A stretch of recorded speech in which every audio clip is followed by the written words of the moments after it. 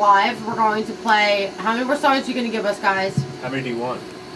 Eight, 20, We can do a few. I think we'll do we'll do maybe three more live, and then we're gonna cut. We're gonna do our exclusive. So be back with Red Hill Ramblers, and I'm going to cut two.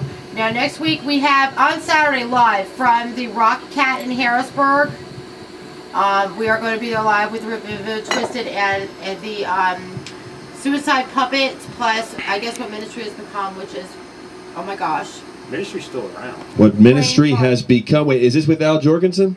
I it's Pulled Under is the name of the band. Pulled Under. Is this featuring Jourgensen or well? No, We no. should know that with I it. forget. Okay, so this is Parker's And then band. next Sunday we are going to be live here with Braxton Parker. Is our um is our band. And will they be playing Braxton Parker or Billy? Braxton Parker or Billy? Yes, we. will. If you leave the bass here for him. Come on, this is the core era. Everything has core in it, not the ability core. That's right. We'll be doing some metal core. we go. and play some Atreyu Billy after the And right now show. we're going to cut to a 191 visit Cypress Zero their practice. Uh, we are going to be live with them with from the Lizzie Borden show on June 5th. So we're cutting over to them and then back with Red Hill Ramblers.